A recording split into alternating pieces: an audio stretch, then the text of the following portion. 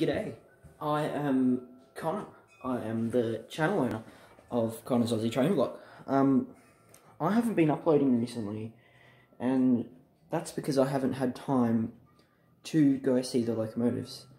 Um, so I thought, why not do a drawing video? Because I also love drawing these locomotives.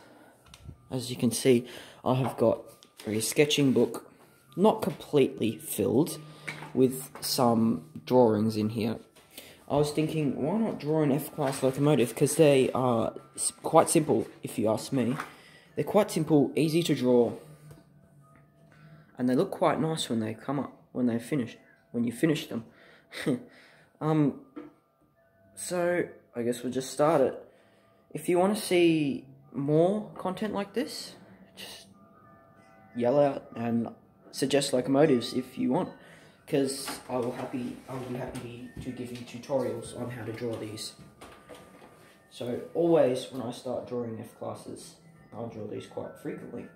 Um, I start off with simple.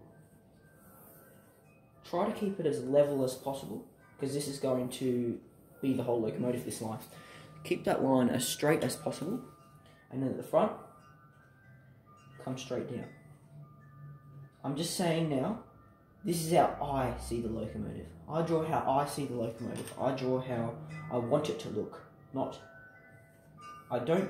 I don't necessarily draw how the locomotive looks. I draw it how I want it to look, because I think, personally, it looks better than it really can be. And then you go ahead and you make this this line a rectangle Try and keep it as straight as possible because underneath here these are going to be the I'm not quite sure what wheel layout the F class have has. I think it's 060. I'm not sure.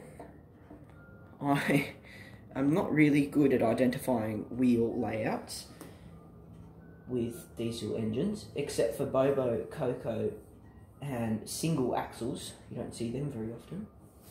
So, now, the, now you've got your platform where your locomotive is going to be. Now, the wheels. I don't draw wheels like other people draw wheels.